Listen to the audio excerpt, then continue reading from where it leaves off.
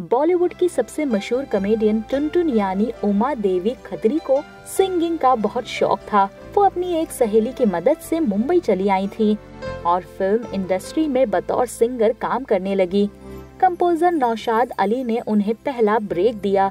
उनका गाना अफसाना लिख रही हूँ। उन दिनों काफ़ी फ़ेमस हुआ था। लेकिन नौशाद ने फिर उन्हें समझाया कि नए सिंगर्स के आ जाने से उनकी गायकी कहीं खो जाएगी। उन्हें एक्टिंग फ़ील्ड में कोशिश करनी चाहिए। तो उमा ने शर्त रखी कि वो एक्टिंग करेंगी तो दिलीप कुमार के साथ। इस बात पर नौशाद हंस पड़े और उनकी ये बात भी मान ली।